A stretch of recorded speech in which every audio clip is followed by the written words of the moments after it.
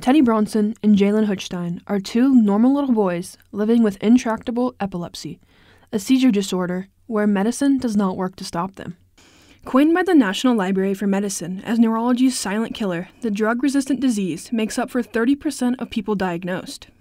But according to the Epilepsy Foundation, there is a drug that has been proven in multiple studies to stop drug resistant epilepsy seizures. That drug is medical marijuana. Jayan's mom, Nicole Hutstein, says they have tried countless medicine combinations for Jayan and many brain surgeries to try and stop his seizures, but they keep returning.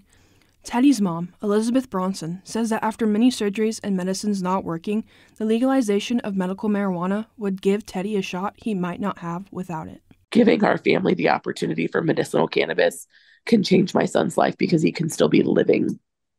We, I'm convinced, without implanting Teddy a year ago, I don't know that he would have saw his fifth birthday. Regardless of what happens to LB 588, which currently still needs to be voted on by the Judiciary Committee, Nicole and Elizabeth both agree they will never give up trying to get medical marijuana legalized because giving up would mean giving up on their kids.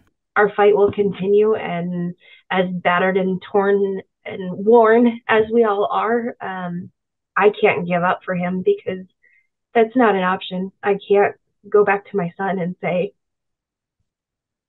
that's it. For the Omaha News, I'm Madison Bonin.